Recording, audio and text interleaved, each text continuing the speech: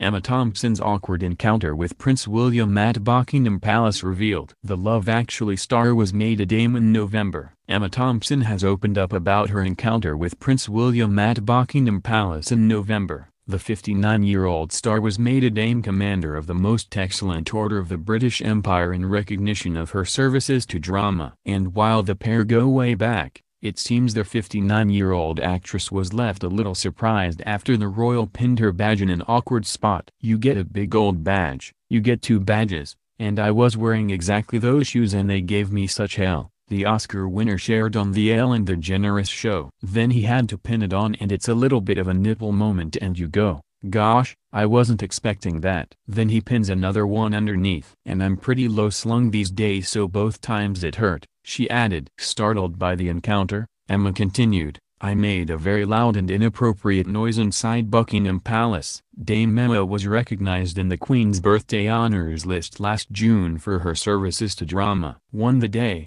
the Saving Mr. Banks actress was joined by her husband Greg Wise and their children Gaia and Tindyebwa. At the time of receiving the honor, Emma revealed that she shared a cheeky exchange with the Duke of Cambridge. Emma revealed that she and William sniggered at each other when she asked for a kiss. I love Prince William, I've known him since he was little, and we just sniggered at each other, she confessed. I said, I can't kiss you, can I? And he said, no don't. She added, if you're first up you have to be more formal on such an occasion, but he's looking wonderful and doing so well. He said, this day isn't about me, it's about you. Speaking about her friendship with both Prince William and Prince Harry, the actress continued, it's really lovely because I've always loved the boys and I've always been a long-term correspondent with their dad, it's a very lovely feeling.